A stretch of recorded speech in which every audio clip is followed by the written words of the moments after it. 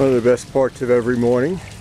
Feeding the fish and Karen and I doing the perp walk, making sure making sure she has plenty of roses here. How many roses you got? Holy mackerel. Look at all those roses. Wow. Your husband must really love you. Look at these roses. I planted these with my own two little hands. Wow. That is really nice, baby, but you know the reality? There's a reality. Is I'm getting suited up and going for a motorcycle ride. It's almost time to go. And we do our little walk through the garden every morning, have our coffee, and if it's a, uh, well, it's always a good riding day. Except if you're in Alcatraz Rikers Island or something. Then you don't get to ride as much.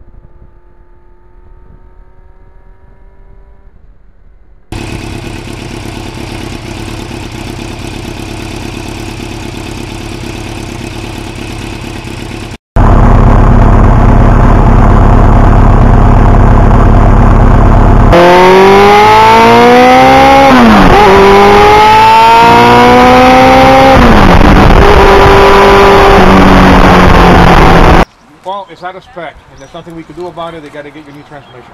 They ordered one from. It had to come from Germany. That other. I've only done it by by minivan. I had like a minivan and shit, and I'm like. I oh, think man, he's I'm doing done. all this nonsense just, to make, the, uh, just so we can make excuses and say I had to take the And you get visa into, off." I mean, Is it what? been there This was the driven around. I've originals, never had a or- bike. Avos? No, no, These are like the second set. You had the. Uh, I like these. These is simple. Fly in. The. Break around 8 o'clock, that day, maybe even sooner depending when I get out.